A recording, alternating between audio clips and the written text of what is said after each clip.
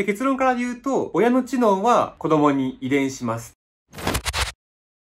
はい、皆さんこんにちは。山本さんです。今日ですね、ひろゆきさんが一般的に読めない名前を付ける親は頭が良くないっていう持論からよって読めない名前の子供は遺伝により頭が悪い可能性があるっていう、まあ、独自の理論を展開してて、まあ、ツイッター上で賛否両論を読んでます。今日はその点について実際どうなのか、知能っていうのは子供に遺伝するのかについて話をしていきます。で、結論から言うと、親の知能は子供に遺伝します。ただ、知能っていうのも知能脳の中に色々種類があって、遺伝によるもの、または遺伝よりも環境によるものっていう2種類があります。慶応義塾大学の安藤樹光先生の研究によると、空間性知能、絵を描いたりとか、空間にあるものを認識する能力と、論理的推論能力、まあ、ある意味地頭力的な論理的に考える能力っていうのは70%遺伝的要因で30%が環境的要因っていうふうに言われています。なんでまあこういう意味では知能っていうのは遺伝するっていう風に考えられます。ここだけ見ると、ひろゆきさんの言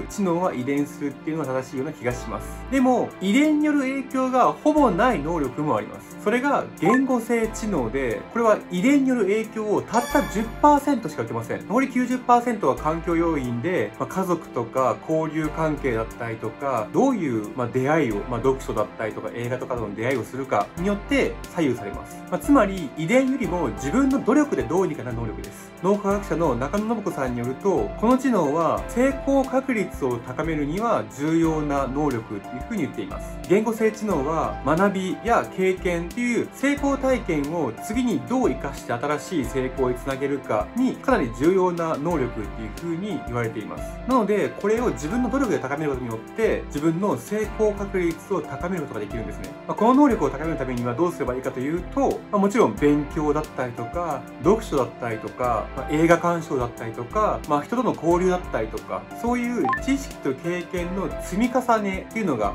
最も効果的です。それを使って、まあ、アウトプットしていく。蓄積されたものを活かして、次の成功につなげていくっていうのを繰り返していくと、その能力がどんどん高まっていきます。僕自身もその知能っていうのは遺伝するっていうなんかある意味諦めた考え的なのはあまり個人的には好きではないです。で、メンさんの中にも IQ が高い人が多いんですけど、基本的に IQ 高い人しかいないので IQ 高いんですけど、まあその中でもやっぱり活躍してる人は努力結構してます。知識をインプットしたりとか、行動をしたりとかして、そういうなんか地道な努力をしてる人も結構多いです。なので、知能は遺伝するっていう考えだけで全部を説明するっていうのはあんまり気持ちのいい考えではないなというふうに僕も個人的にすごく思います。はい。本日もご視聴ありがとうございました。山本正也でした。